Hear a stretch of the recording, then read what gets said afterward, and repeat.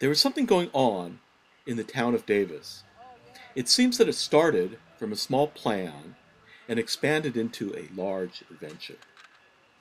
Experience the community build where the locals take back the street one mandala at a time.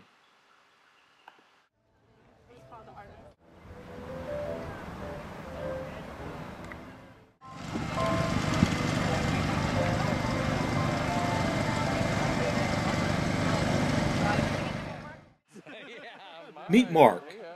He is on a mission. Occupy our town with art, hope, and compassion. A wonderful event happened today, and it was a one-day event. Um, uh, community painting mandala happened on the corner of 4th and K Streets, and uh, we've had God, possibly around 75 people participate in it, and it took us about five hours. And this is the design right here. Um, a lot of people showed up throughout, and some people participated. Some people stopped to just check it out.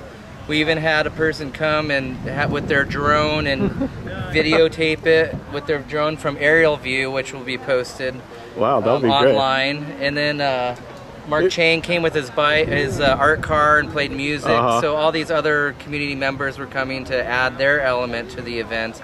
A lot of people had a lot of positive responses. My hope uh, and wish is that it's well received with the city of Davis, and it inspires other neighborhoods to utilize this concept to um, create an identity within their own neighborhood and a community build within their neighbors. Active participation through art, music, and dance can transform a neighborhood. Meet me at the crossroads and help build the community from the street level up. Leave a message, burn an impression. The issue is sharing experiences.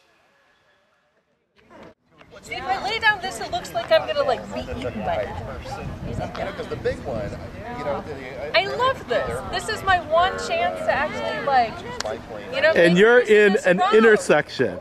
Yeah, exactly. In an intersection. Talk about performance art. I can't, dude. I could just like